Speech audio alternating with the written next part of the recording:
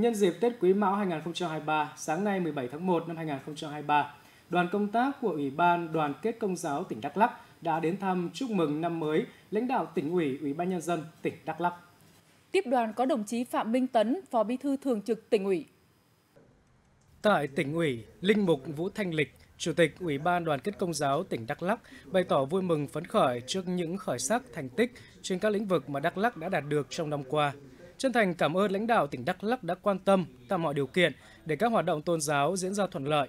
Thay mặt chức sắc đồng bào công giáo, Linh mục Vũ Thanh Lịch gửi đến lãnh đạo tỉnh lời chúc năm mới thành công, an khang, thịnh vượng.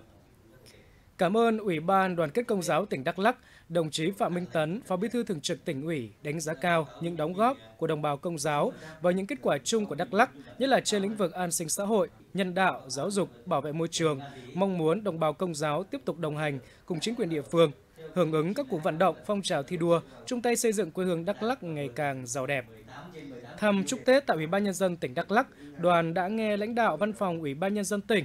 thông tin tóm tắt những kết quả phát triển kinh tế xã hội, bảo đảm quốc phòng an ninh mà tỉnh Đắk Lắk đã nỗ lực đạt được trong năm qua.